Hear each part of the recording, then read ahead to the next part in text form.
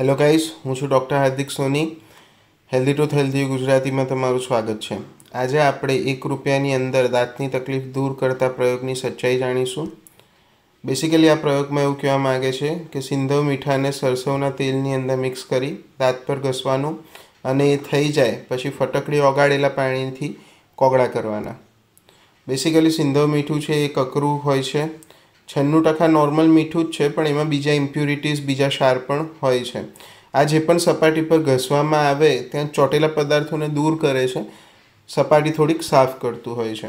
સરસવનું તેલ જે છે મિત્રો, એ થોડું તેજ સ્વભાવનું છે. મીઠું એમાં મિક્સ થઈ જાય છે.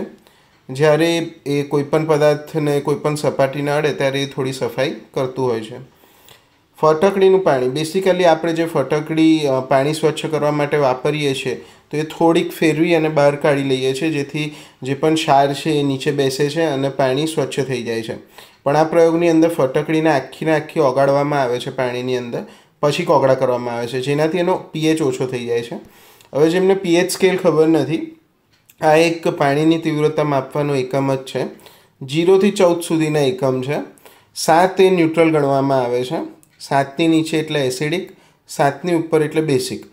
હવે જે પણ લિક્વિડ હોય, એનું બેસિક પીએચ આપણા શરીરમાં સ્ટેબલ રહે તો આપણે વ્યવસ્થિત રહીએ. જેવું બ્લડ છે એ સાત પોઈન્ટ ત્રણ પીએચનું હોય છે. મૂળાની જે લાડ છે એ છ પોઈન્ટ સાતથી સાત પોઈન્ટ ચારની વચ્ચે પીએચ હોય છે. એસિડિક પીએચથી આપણે કોગળા કરવાની વાત થાય છે. જો આપણે ફટાકડીના પાણીથી કોગળા કરીએ. હવે આ પ્રયોગથી રિઝલ્ટ મળતું જ હોય છે. એવું નથી કે રિઝલ્ટ નથી મળતું. તરત જ તમને દાંત પર ચોટેલા પદાર્થો છે એ થોડા થોડા ખસી જશે. દાંત પર થોડા થોડા ખાડા પડી જશે, જેના લીધે દાંત થોડો સફેદ દેખાવા લાગશે. સરસવનું જે તેલ છે, એના તેજના લીધે જો કોઈ દાંત દુખતો હોય, કોઈ પેઢા દુખતા હોય, દાંત હલતો હોય, તો થોડો થોડો ઘણો તાત્પુરતો દુખાવો ઓછો થઈ જાય. કારણ કે સરસવનું તેલ જ એટલું તેજ છે, કે દુખાવો શરીર ભૂલી જતું હોય છે. હવે જે લાઇટનું મેં તમને કીધું, આ બે એક જ સરફેસના ફોટા મેં પાડ્યા છે. આ ફ્લેશ વગર છે, આ ફ્લેશ સાથે છે. એ જ રીતે દાંત પર જ્યારે લાઇટ પડે, જો દાંતની અંદર ખાડા થઈ ગયા હોય, તો થોડોક દાંત સફેદ દેખાવા લાગે છે.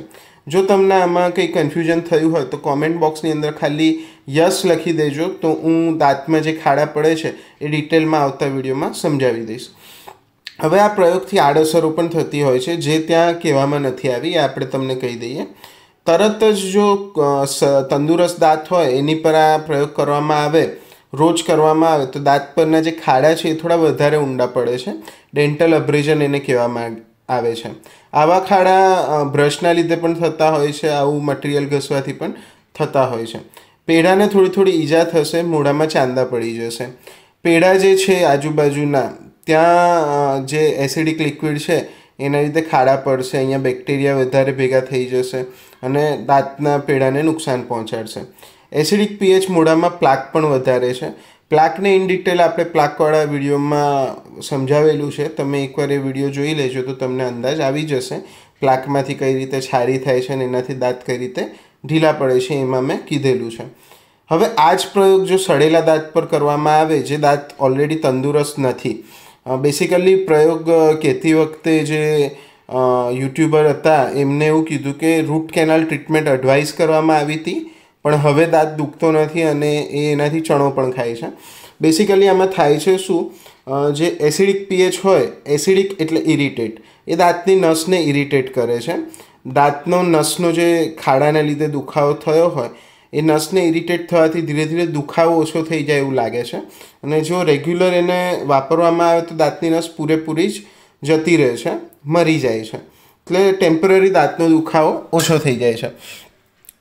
એ થોડું ડિટેલમાં તમને કહી દઉં. તો એક, આ એક દાંતનું ક્રોસ સેક્શન ફોટો છે. વચ્ચેથી આપણે દાંતને કટ કર્યો છે.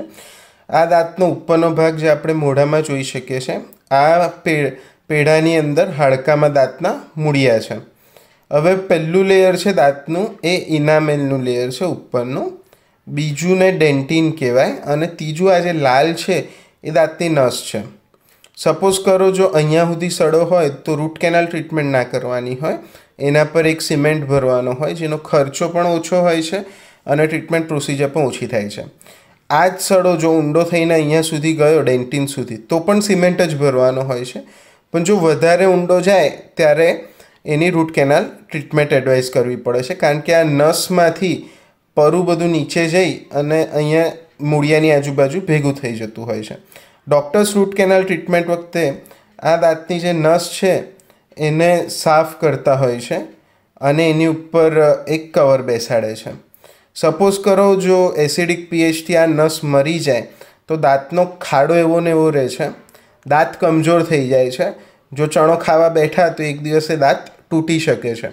ખાડો થવાથી ત્યાં બીજા પણ બેક્ટેરિયાસ ભેગા થઈ અને સડો વધારે છે. એક દાંતમાંથી એના ઉપરના અને બાજુવાળા દાંતમાં પણ સડો જતો રહે છે. એટલે ઇન વે જે પ્રયોગ કરવામાં આવે એનાથી સો ટકા દાંતનો દુખાવો જાય એવું નથી કહી શકતો. પણ દાંતનો તકલીફ મટે નહીં એવું હું તમને કહી જ શકું છું. દાંત એવો ને એવો રહેશે, ખાડો એવો ને એવો રહેશે. હા, પણ દાંતની પરિસ્થિતિ થોડી વધારે બગડી જશે. તો મોટા મોટી આ પ્રયોગ તમારે કરવો ના જોઈએ. જે પણ દાંતને સારા રાખવા માટે બે વાર બ્રશ કરો અને બીજી કોઈ તકલીફ હોય તો ડૉક્ટરને મળવું. જેટલા વહેલા મળશો એટલી તમને તકલીફ ઓછી થશે, એટલી ટ્રીટમેન્ટનો ખર્ચો ઓછો આવશે અને એટલો ટાઈમ પણ ઓછો જશે. Thank you.